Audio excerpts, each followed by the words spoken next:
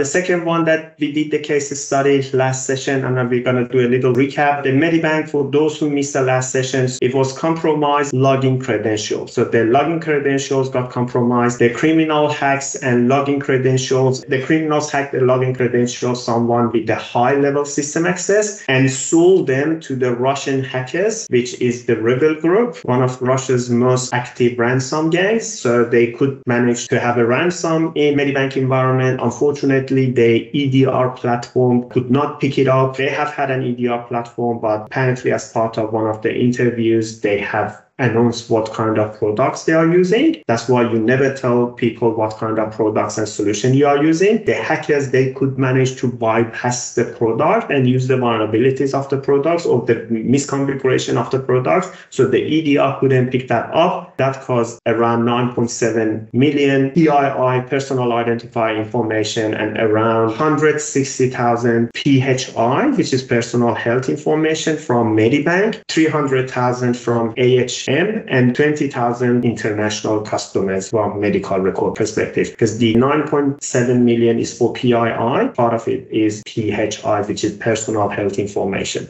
So that was biggest and worse than Optus. Optus was just only PII as opposed to Medibank, which is PII for all their customers and part of their customers is PHI, which is personal health record as well. So hackers claim they stole 200 gigabyte of data. Medibank said, so the ransomware group, they're asking for money. Typical Russian ransomware group, they ask for money. The Chinese usually they're after information. Medibank said they won't pay ransom demand by the REvil group and they have started just releasing the customer information into dark web, which is quite unfortunate. A lot of them fit a class action against Medibank for the data breach and also the Australian Information Commissioner, they feel the case as well. And the immediate cost between 25 to 35 million as a financial damage for Medibank. So Optus immediate cost was 140 million, a lot of money for just not configuring the APIs in the right way, having an unauthenticated API. They could have run some penetration testing for SAST testing, DAST setting penetration testing for less than $50,000 to avoid that, to save that 140 million. Same as Medibank, they haven't had the right security controls in place. The EDR solution couldn't get the most out of the EDR platforms. Unfortunately, they ended up in this mess, and the immediate financial damage for Medibank is around 25 to 35 million. So both Optus and Medibank caused a lot of financial damage and reputation damage. And there are also there are open class action against both companies. It can come with regulation damage as well.